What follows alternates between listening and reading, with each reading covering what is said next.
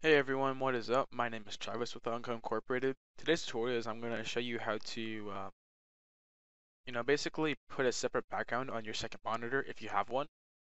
Um, this could be useful just to make, you know, make your setup look better. It's very easy and we're going to be using a tool called Dual Wallpaper. Um, I actually don't know where I got this exact software from. It's from GNE, I believe. Anyways, so I'll go ahead and leave the download link in the description for the software. And once it's downloaded, you want to go ahead and open it. And basically what this means is this is, uh, actually I don't remember. I believe right here, this is your second screen, number two, and the first one is your second screen. So what you need to do is go ahead and click uh, browse on the image uh, area and then basically select the image you want to be on your second monitor. And in order to do this, you must click on the actual box itself. So what we're going to set it to is we're going to click on monitor 1.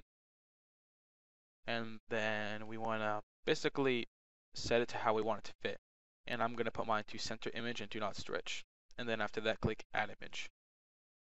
Which right here, this is my first screen. Sorry about that earlier, I kind of mismatched that. And then we want to click on our second screen and click on browse image and scroll down and I'll click monitor 2.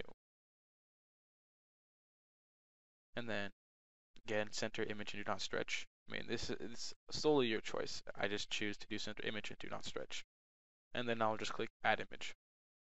From here, you just want to click set wallpaper. So, okay. So that was incorrect. Yeah, this is the first uh, this is the first monitor and then this is the second monitor. Mine is actually set up differently because I have my second monitor on the left so it kind of is mixed up. Apologies for that. One moment. Okay, sorry about that uh, phone call. Anyways, so once you click set wallpaper, the images should be set.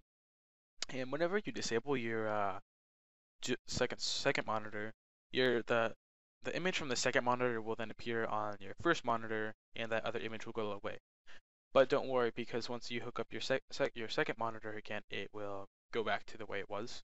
So it doesn't just like automatically erase, which is what I like about this software. So I mean, not like you need to keep the software, but so yeah, very simple. Use dual wallpaper to do this. Um, also, again for the screens, you're gonna have to mess around with it because mine are kind of reversed, only because I'm on my dual my second monitor is on my left and not on the right.